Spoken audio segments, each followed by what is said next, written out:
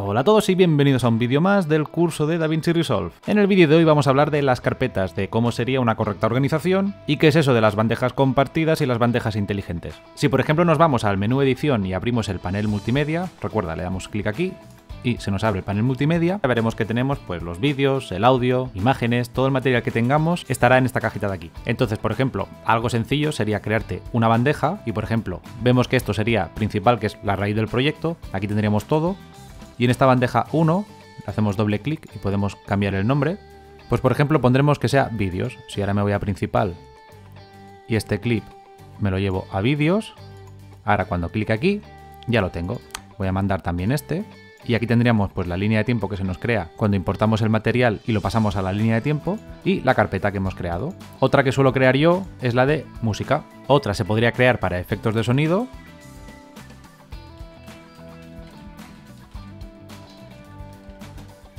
Otra para imágenes, y se podía crear también otra, que no lo voy a hacer, de, clips. Imagínate pues estos clips pequeñitos que solemos utilizar en los vídeos, sobre todo para darle un poco más de dinamismo, o los vídeos recurso, mientras estás hablando de algo pones un vídeo de fondo, pues también los puedes organizar. Pues vale, ahora lo tenemos en distintas carpetas. Aquí tendríamos la música, los efectos de sonido, imágenes y aquí los vídeos. Esto sería las carpetas normales del proyecto. Si queremos ver las carpetas, por ejemplo, compartidas, le daríamos a Ver y en esta opción aparece Mostrar bandejas compartidas. ¿Qué diferencia hay entre esta y esta? La bandeja de aquí arriba involucra solo a este proyecto. Si yo aquí ahora creo una estructura de carpetas, por ejemplo, voy a poner intros. Si yo aquí le pongo la intro del canal, o la despedida, como quiera, cada vez que abra un proyecto nuevo, esto lo vamos a tener aquí. ¿Para qué sirve? Muy fácil. Si por ejemplo, como estoy haciendo ahora, estoy haciendo una serie de tutoriales que son unos vídeos similares, pues si siempre utilizo la misma intro, siempre utilizo la misma despedida o tengo cuatro eh, clips que suelo poner, pues no hace falta que vaya importando a cada proyecto el archivo. Entraríamos aquí y lo tendríamos siempre. Es una manera de eh, abrir el proyecto que abras, tener todo lo que utilizas habitualmente a mano. Y por último tendríamos las bandejas inteligentes, lo mismo que con las compartidas. Nos vamos a ver y marcamos bandejas inteligentes. Esto sería como crear filtros para poder buscar ciertos materiales. Imagínate que tienes tropecientos mil archivos en el proyecto y necesitas buscar y filtrar pues, planos recurso que tengan X resolución o X tasa de fotogramas. Esto es muy sencillo. Daríamos botón derecho y crear bandeja inteligente. Y por ejemplo aquí ya nos aparece pues, los materiales que tenemos en este proyecto. Y digo, voy a buscar todos los clips que tengan pues más de 60 fotogramas por segundo y nos aparece si queremos que cumpla todos los requisitos nuestra búsqueda o cualquiera de ellos. Yo por ejemplo voy a dejarlo que lo cumpla todo. Imagínate que aquí tengo pues 40 clips, cada uno con una tasa de fotogramas diferente.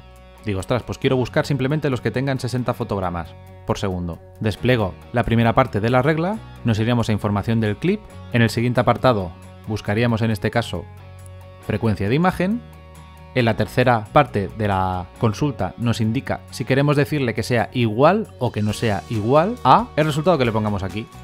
Si yo, por ejemplo, le estoy diciendo, quiero que me busques de la información del clip que la frecuencia de imagen sea igual que, si pongo 60 frames, me aparecen estos clips que son los clips que tienen una tasa de 60 fotogramas por segundo. Si por ejemplo pongo 50, no me aparece ninguno porque no tengo ninguno con 50. Si además de esto quiero que cumpla otra condición, es decir, que tenga 60 fotogramas y que sea 4K, le daríamos aquí donde pone más y agregamos como una segunda consulta a nuestro filtro. Pues lo mismo información del clip y en este caso le daríamos a resolución resolución que sea igual a, en este caso como los dos clips que tengo son en 4K, pues pondríamos 3840 por 2160. Y ahora nos aparece que este clip está en una tasa de 60 fotogramas y en 4K. Le daríamos a crear. Aquí le puedes cambiar el nombre, ¿no? El tipo de nombre a la consulta que quieras. Y entonces si aquí tú te haces listas inteligentes, pues puedes ir seleccionando, pues mira, que este clip cumpla estas condiciones, las otras y tal. Y en el caso que quieras modificarlo, doble clic y ya la puedes modificar, eh, cambiar el nombre, eliminar, lo que quieras. Básicamente sería esto. Yo el tema de las bandejas inteligentes no suelo utilizarlo. Más que nada porque al final, como me dedico a hacer prácticamente tutoriales y cosas de estas para YouTube, no me hace mucha falta. Los clips suelen estar en las mismas tasas y al final pues me acaba dando un poco igual. Porque tampoco tengo una bandeja llenísima de para editar, porque al final es un clip con el tutorial y después cuatro cositas que le pongo encima. Lo que sí que utilizo más es las bandejas compartidas, porque esto me ahorra muchísimo tiempo. Si quiero utilizar la misma intro en todos los vídeos, pues no tengo que ir importándola en cada proyecto. Igual que la música, al final acabo utilizando la misma, pues me hago una estructura de carpetas compartidas y en cada proyecto lo tendré. Espero que te haya servido y nos vemos en la próxima. ¡Chao!